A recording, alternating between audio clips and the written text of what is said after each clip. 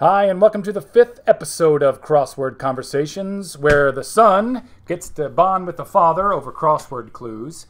And uh, when we get stuck on one, the deal is I get to ask him a question about his life, something I've always wanted to know. And we are stuck on a four letter word, and the clue is womanizer. So now that I have your attention, Dad, on womanizer, tell me how you met mom.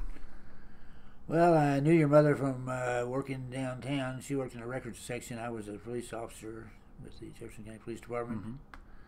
First time I ever asked her out on a date was uh, one day I was driving down the road on patrol on Dixie Highway, and uh, car pulled up beside of me. He honked his horn. I looked over, it was her and another girl, so I motioned him to go to pull over. Uh huh. Pulled him behind him, turned my lights on, said make it official. Best I could, make it official, you know, and uh, asked her for asked her to go out, and she accepted my invitation. Went out about a week later. We went out, And you've been together ever since?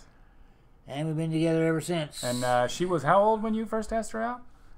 eighteen. And how old were you? She, I was thirty-two. 32. Wow. And you met her at 18, married at 19, and had me at 20. You you guys work fast. Well, I think we knew what we wanted from each other, and uh, we still love each other. And um, we've been together forty years now. 40 years. So, folks, tell us, uh, share how you met your husband or wife. Uh, we'd love to hear how you all met and uh, see if there's any more funny stories out there, like like this one, like how my dad abused his power and pulled a lady over and asked her. Ah, yeah, you can say that if you wanted to officially turn my lights on though. We look forward to hearing from you.